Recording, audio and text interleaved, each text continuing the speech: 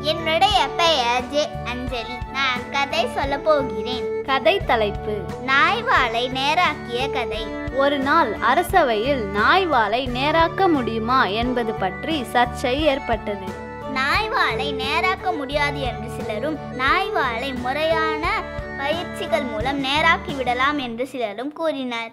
அதையும் சோதித்து பார்க்க மன்னர் விரும்பினார். சிலருக்கு நாய்கள் கொடுக்கப்பட்டன. தெலாலிராமனும் ஒரு நாயை பெற்று சென்றான். அவைகளை பராமரிக்க பணமும் கொடுக்கப்பட்டது.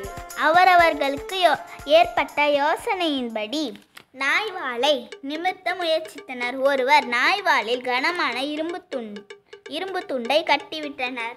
மற்றொருவர் குழாய் செய்து அதை நாய்வாலில் சேர்த்து கட்டினார். இன்னொருவர் நாய்வாலை உருவி விட்டு கொண்டே இருந்தார்.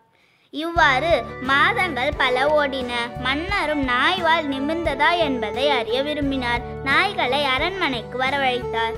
நாய்வாலில் கட்டிய இரும்பு துண்டை எடுத்தவுடன் பழையபடியே நாய்வால் சுருண்டு கொண்டது.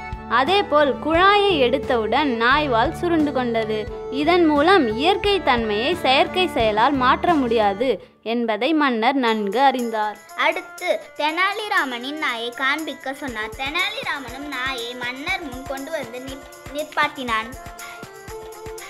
அது நிற்கக்கூட சக்தி இல்லாமல் இருந்தது. அதன் வாலை மன்னர் பார்த்தார். அந்த நாய் பட்டினியால் வாடியதால் அதன் வால் நேராகவே இருந்தது.